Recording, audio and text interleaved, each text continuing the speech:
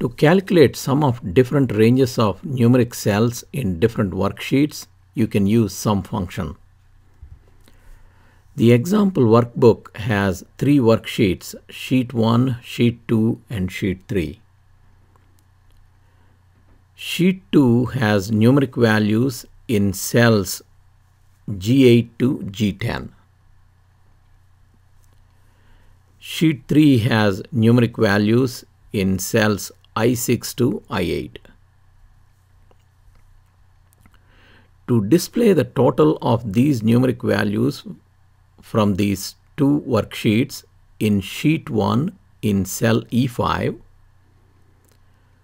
click on cell E5 in sheet 1. In the formula bar, type equal to the function sum within parenthesis sheet 2 exclamation mark and the cell range which contains the numeric values G8 colon G10 comma. Sheet 3 exclamation mark again the cell range I6 colon I8 close parenthesis. Hit enter